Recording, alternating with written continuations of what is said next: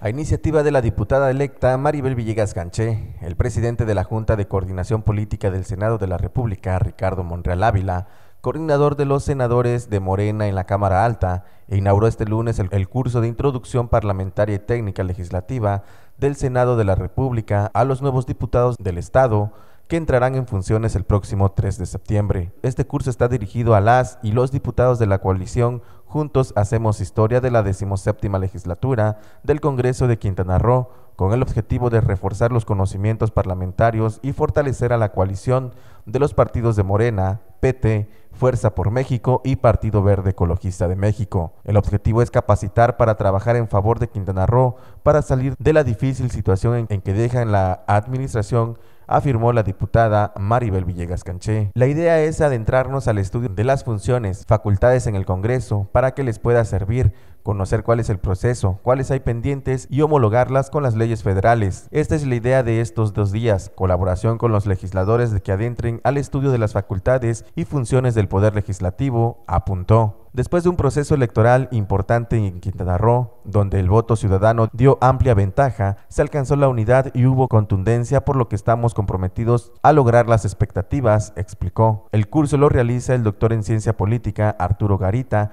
que cuenta con más de 35 años de experiencia legislativa, tanto en la Cámara de Diputados como en la de Senadores. Para Notivisión, Leonardo Hernández.